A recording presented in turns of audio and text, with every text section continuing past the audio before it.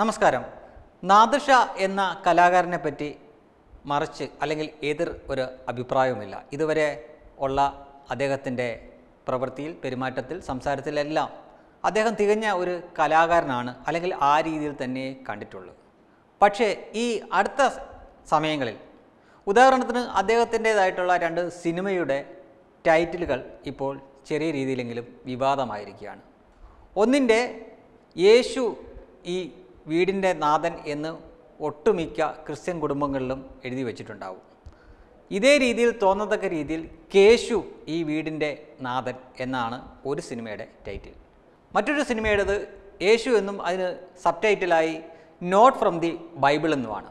സ്വാഭാവികമായിട്ടും ക്രിസ്ത്യൻ വിശ്വാസികളായ ചിലർ അതിനെതിരെ രംഗത്ത് വരികയും അദ്ദേഹത്തിന്റെ പോസ്റ്റ് താഴെ ചില വിമർശനങ്ങളൊക്കെ ഉന്നയിക്കുകയും ചെയ്തപ്പോൾ അദ്ദേഹം നോട്ട് ഫ്രം ദി ബൈബിൾ എന്നത് മാറ്റിയിട്ട് യേശു എന്ന് മാത്രമാക്കുകയും അതിനി മാറ്റാൻ ഉദ്ദേശിക്കുന്നില്ല എന്ന രീതിയിൽ ആ നിലപാടിൽ ഉറച്ചു നിൽക്കുകയും ചെയ്തു. ഓക്കെ നല്ല കാര്യം. സിനിമയെ സിനിമയായിട്ട് തന്നെ കാണട്ടെ കലയെ കലയോ കലയായി തന്നെ കാണട്ടെ. ഒരുപക്ഷെ യേശു എന്ന പേര് മാത്രമേ കാണൂ. അത് ബൈബിളുമായിട്ടോ അല്ലെങ്കിൽ വിശ്വാസമായിട്ടോ യാതൊരു ബന്ധവും കാണില്ലായിരിക്കാം. അതേപോലെ തന്നെ ആദ്യത്തെ ദിലീപ് ദിലീപ് ചിത്രമായ കേശു ഈ വീടിന്റെ നാഥൻ എന്ന സിനിമയും ഒരു പക്ക തമാശപ്പട ഒരു കോമഡി ചിത്രം തന്നെ ആയിരിക്കാം. ഇതുമായി യാതൊരു ബന്ധവും മതപരമായിട്ടുള്ള യാതൊരു ബന്ധവും കാണില്ലായിരിക്കാം. പക്ഷേ നാദർഷ എന്ന വ്യക്തിയുടെ ചില ഇരട്ടത്താപ്പുകൾ അദ്ദേഹം അറിയാതെ തന്നെ വെളിവാക്കപ്പെടുന്നുണ്ട് അവിടെ. നാദൃശ എന്ന ഈ സംവിധായകൻ അദ്ദേഹം രണ്ട് മൂന്ന് സിനിമകൾ സംവിധാനം ചെയ്തിട്ടുണ്ട്. അദ്ദേഹം ആദ്യമിട്ട പോസ്റ്റ് ഇങ്ങനെയാണ്. ഈശോ സിനിമയുടെ സെക്കൻഡ് മോഷൻ പോസ്റ്റർ ബുധനാഴ്ച നാല് എട്ട് രണ്ടായിരത്തി ഇരുപത്തൊന്ന് വൈകിട്ട് ആറ് മണിക്ക്. എന്റെ പ്രിയ സഹോദരന്മാരുടെ ശ്രദ്ധയ്ക്ക് ഞാൻ ഏറെ ബഹുമാനിക്കുന്ന ദൈവപുത്രനായ ജീസസുമായി ഈ സിനിമയ്ക്ക് യാതൊരു ബന്ധവുമില്ല. ഇത് കേവലം ഒരു കഥാപാത്രത്തിന്റെ പേര്. ഈ സിനിമയ്ക്കെതിരെ പ്രവർത്തിക്കുക ഇങ്ങനെയാണ് ആ പോസ്റ്റ് തുടങ്ങുന്നത്. ഇവിടെ ശ്രദ്ധിക്കേണ്ട കാര്യം ഞാൻ ഏറെ ബഹുമാനിക്കുന്ന ദൈവപുത്രനായ ജീസസുമായി ഈ സിനിമയ്ക്ക് യാതൊരു ബന്ധമില്ല എന്ന് പറഞ്ഞിരിക്കുന്ന ഈ പോസ്റ്റ്. ഇതിന് താഴെ ഒരു മുസ്ലിം നാമധാരി വന്ന് പറഞ്ഞിട്ടുണ്ട് നാദൃഷ ജീസസ് ദൈവപുത്രനല്ല. മുസ്ലിങ്ങൾ അങ്ങനെ വിശ്വസിക്കുന്നില്ല. അദ്ദേഹം ദൈവത്തിന്റെ ഒരു പ്രവാചകൻ മാത്രമാണ്. ഇനിയാണ് ട്വിസ്റ്റ്. ഈ കമന്റിന് ശേഷം ആദ്യമിട്ട പോസ്റ്റ് നാദൃശ തിരുത്തുന്നു. ദൈവപുത്രൻ എന്നത് മാറ്റിയിട്ട് അവിടെ പ്രവാചകൻ വരുന്നു. നാദൃശ അടുപ്പിച്ചടുപ്പിച്ച് രണ്ട് മൂന്ന് തവണ എഡിറ്റ് ചെയ്യുകയുണ്ടായി. അപ്പോൾ ഒന്ന് ഓർത്ത് നോക്കുക. നാദൃശ നാദൃശ എടുക്കാൻ പോകുന്ന സിനിമയുടെ കഥ എന്തുമാവട്ടെ? പേരിന്റെ പേരിലാണല്ലോ ഒരു വിവാദം. ദൈവപുത്രൻ ഏറെ ബഹുമാനിക്കുന്ന സ്നേഹിക്കുന്ന ദൈവപുത്രൻ എന്നൊക്കെ പറഞ്ഞ് ആദ്യം ഇട്ട പോസ്റ്റ് അതിന് താഴെ വന്ന ഒരു കമന്റിന് ശേഷം അദ്ദേഹം തിരുത്തുന്നു. അപ്പോൾ നാദൃശ അവിടെ വ്യക്തമാക്കി കഴിഞ്ഞു. നാദൃശ ഖുറാൻ അനുസരിച്ചുള്ള തന്റെ സ്വന്തം മതവിശ്വാസം അനുസരിച്ച് ജീവിക്കുന്ന ഒരു വ്യക്തിയാണ്. ഓക്കെ നല്ലത്. ഇന്ത്യയിൽ അവനവന്റെ മതം വിശ്വസിച്ച് ജീവിക്കാനുള്ള എല്ലാ സ്വാതന്ത്ര്യമുണ്ട് പക്ഷേ അങ്ങനെ ഒരാൾ ഒരു മറ്റൊരു മതത്തിന് അവന്റെ മതവികാരം വ്രണപ്പെടുത്തുന്ന രീതിയിൽ ഒരു കാര്യം ചെയ്യുമ്പോൾ ശ്രദ്ധിക്കണ്ടേ? ഒരു പോസ്റ്റ് ഇട്ടപ്പോൾ അതിൽ ദൈവപുത്രൻ ആണ് യേശു എന്ന വാചകം തന്റെ തന്നെ കൂട്ടത്തിലുള്ള ഒരാളുടെ കമന്റിന്റെ പേരിൽ തിരുത്തേണ്ടി വന്നു എങ്കിൽ അത്തരം ഒരാൾ മറ്റൊരു മതവിശ്വാസികളെ വ്രണപ്പെടുത്തുന്ന രീതിയിൽ ഒരു പേര് പോലും ഇടാൻ യോഗ്യനല്ല.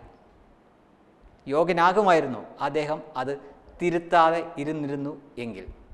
ദാ ഇത്തരം പ്രവൃത്തികൾ ചെയ്യുമ്പോഴാണ് നാദൃശയെപ്പറ്റി പോലും സംശയം തോന്നുന്നത്. നാദൃശ ഇത് യാദൃച്ഛികമായി ചെയ്തതല്ല എന്ന് വിശ്വസിക്കാൻ ഒന്നിലധികം കാരണങ്ങളുണ്ട്. കാരണം ഒരാൾക്ക് ഒരു സിനിമയിലാണ് ഇതേപോലൊരു ടൈറ്റിൽ വരുന്നതെങ്കിൽ അത് യാദർച്ഛികമാണ് എന്ന് വെക്കാം. ദിലീപിന്റെതായിട്ടുള്ള ഒരു സിനിമയിൽ യേശു ഈ വീടിന്റെ നാഥനെന്നും ജയസൂര്യ വെച്ചെടുക്കുന്ന മറ്റൊരു സിനിമയിൽ Yesu not from the Bible എന്നും വിടുമ്പോഴാണ് എന്തോ ഹിഡൻ അജണ്ടയുടെ ഭാഗമായിട്ടാണോ നാദൃശ്യം നീങ്ങുന്നത് എന്ന് സംശയം തോന്നുക. ഇനി ഇതൊന്നുമല്ല കട്ടപ്പനയിലെ ഋതിക് റോഷൻ എന്ന ഇദ്ദേഹത്തിന്റെതായിട്ടുള്ള രണ്ടാമത്തെ ഒരു ചിത്രമുണ്ട്. ആദ്യം അമർ അക്ബർ ആന്റണി ആയിരുന്നു പൃഥ്വിരാജൊക്കെ അഭിനയിച്ച.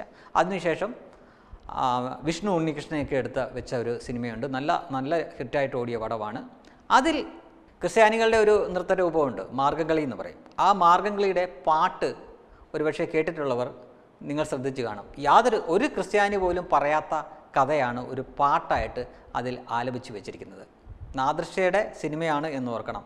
വിവാഹിതയാവാൻ പോകുന്ന മണവാട്ടി കയ്യിൽ മൈലാഞ്ചി ഇടുന്നത് പണ്ട് ഹൗവ ചെയ്ത പാപം പുറത്തു കൊടുക്കാൻ വേണ്ടി യേശു പറഞ്ഞതിന്റെ പ്രകാരമാണോ എന്ന് ആദ്യത്തെ ചരണത്തിൽ എഴുതി വച്ചിരിക്കുന്നു. രണ്ടാമതിൽ വേറൊരു കാര്യം എഴുതി വച്ചിരിക്കുന്നു. താലി തന്നെ ഈശോ പറഞ്ഞിട്ട് നമ്മൾ പൗത്രമായിട്ട് താലി കൊടുത്തിരിക്കുന്നതും ഇതിൽ കോർക്കാനുള്ള ഏഴ് ചരട് പുടവയിൽ നിന്ന് എടുത്ത് കൊറുക്കാനാണ് യേശു പറഞ്ഞിരിക്കുന്ന രീതിയിൽ രണ്ടാമത്തെ രീതിയിലും എഴുതി വച്ചിരിക്കുന്നു. ഇത് ക്രിസ്ത്യാനികളുടെ കഥ അല്ലെങ്കിൽ അവരുടെ വിശ്വാസവുമായിട്ട് യാതൊരു ബന്ധവുമില്ലാത്ത സംഗതിയാണ്. ഈ മൈലാഞ്ചി താലി താലി കെട്ടാനുള്ള ഏഴ് നൂൽ. ഇതൊന്നും ഒരു ബന്ധമില്ലാത്ത സംഗതിയാണ് ഈ എഴുതി പിടിപ്പിച്ച് പാട്ടായിട്ട് തന്നെ മാർഗംകളി ആയിട്ട് അത് അവതരിപ്പിച്ചത്.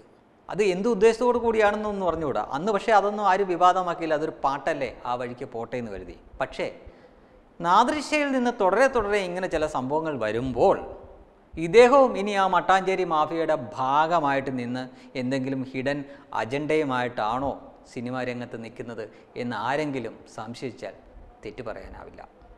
Web desk Tatwamayi news.